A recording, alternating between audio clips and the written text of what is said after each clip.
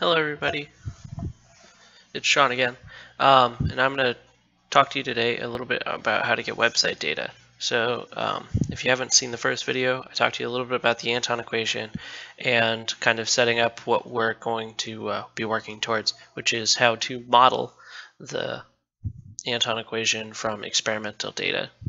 So today I'm going to talk to you a little bit about how to get website or get the data from a website. So um, for most pro uh, problems, data formats, and um, a huge amount of modeling, we have the Dortmund Data Bank, which is how a lot of programs and large companies store or extract data about what they're working with.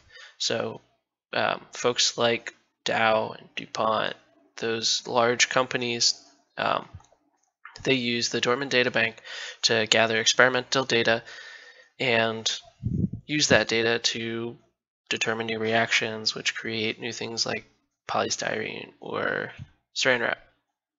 Um, so to kind of get information to take it from this website, which for this specifically we're looking at water, um, we're going to try to take data from this website on this table to anything or in a way that we can read it and try to uh, try to you know uh, model it.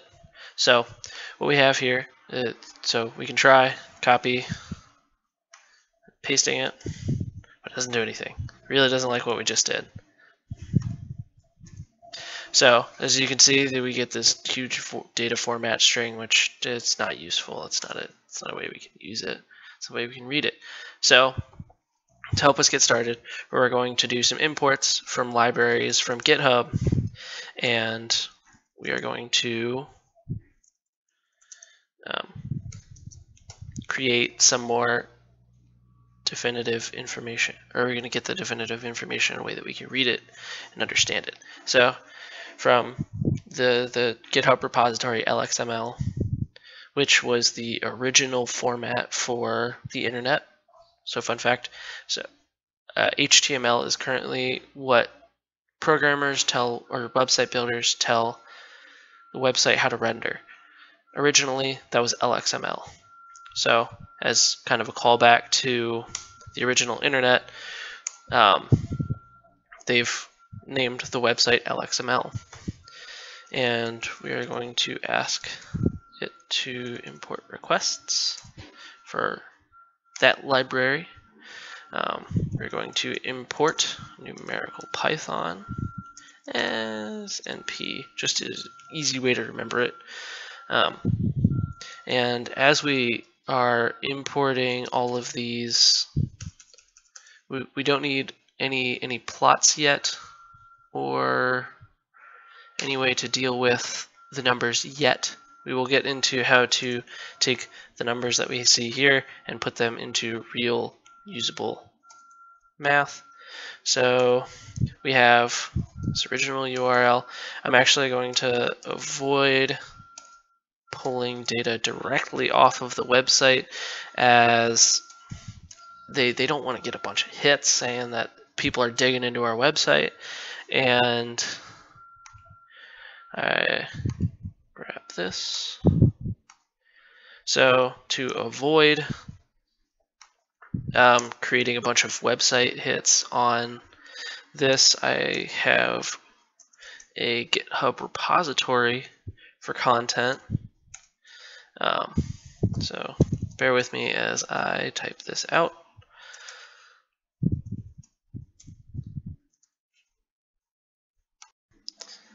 So now I just skipped the, the rest of the teaching, so I'll give it a pause so you guys can get the, the website link here. So, woo, we got it, and the no problems with the HTMLs. So now we're going to define some variables here. So we have some content. We need to define if I can spell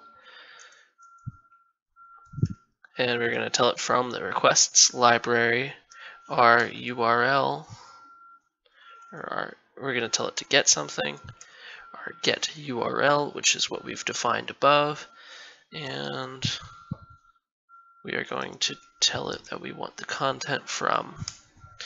And to help us determine this format, we need to tell it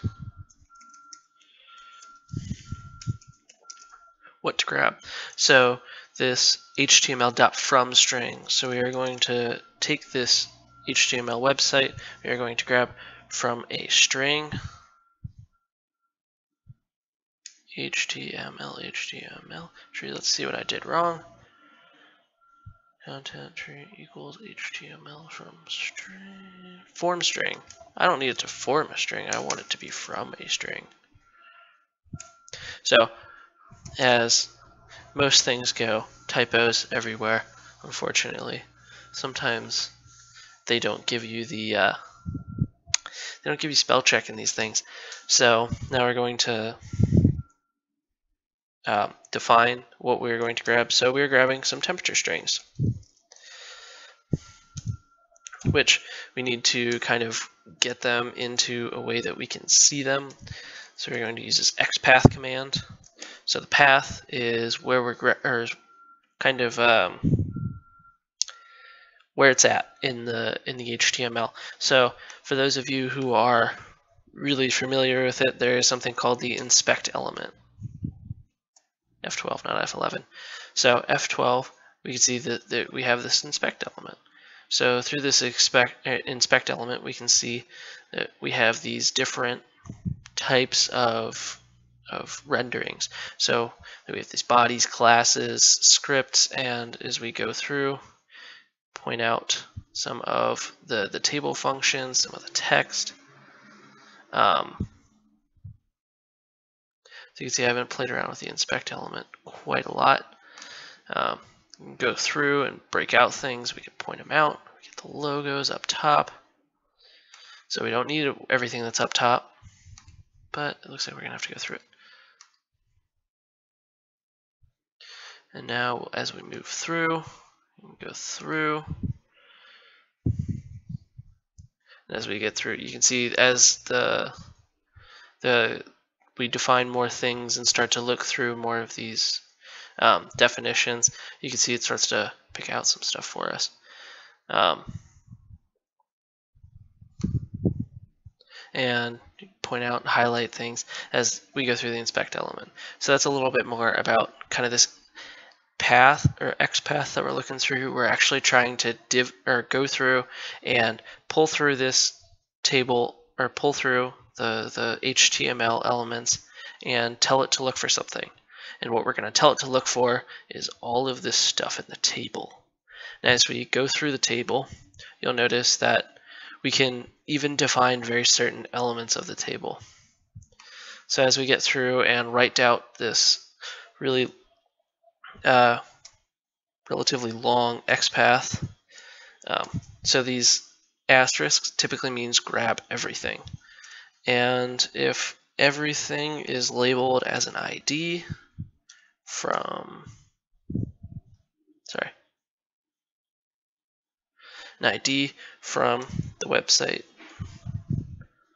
or more accurately from this online dash DDB form.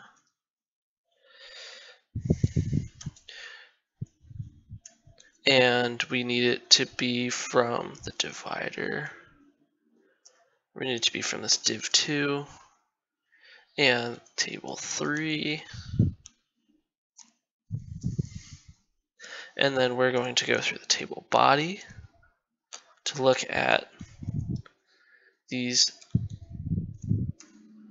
positions. And if you didn't want to, uh, or if you wanted to look at a very specific position, you will simply input the positions with these brackets like we did before with the tables and table bodies. Um, give it a heart. And then we want all the text in it. And now time to finish it out as our finish of string. So this is our really, really long string is to tell it what to look for in the inspect element, and it's going to pull out exactly what we want. So if we wanted, let's say, position, or let's say we wanted the temperature and pressure at four, or the temperature and pressure at 473 and 1562 kilopascals. Well, then we simply tell it or we tell it the position and where we at or where we want it. So now that we have all of our data written into our strings, so uh, the unfortunate part about XPath is when we bring it into the bring it into the, the sheet, it is simply in a string. Unfortunately, um, I'll cover this in the next video when we take these strings, or they may look like numbers, but they are currently strings, so they won't know what to do with it. It's like typing a word. Um, unfortunately, these strings have numbers in them, but there is a way that we can take these strings and turn them into real numbers. So we can graph them and do what we want. Um, that's really it for now. Uh, in the next video, I'll cover um, how to model the entire Antoine equation and get more into a little bit why we're doing this. Um, right now, this is just how to get website data and pull hits. Um, really useful tool, pays a lot of money, but it's also uh, can be a little a little tricky with copyright laws. So that's why we're going to use this, or we're going to circumvent by using this URL, and we only get one hit from the DDB website instead of having to get hundreds of thousands of hits, depending on how many people decide to use this. Um, regardless, I'll talk to you next time, and we'll learn to take this data, or we'll learn what to do with this data and put it into an Antoine equation. All right, thank you.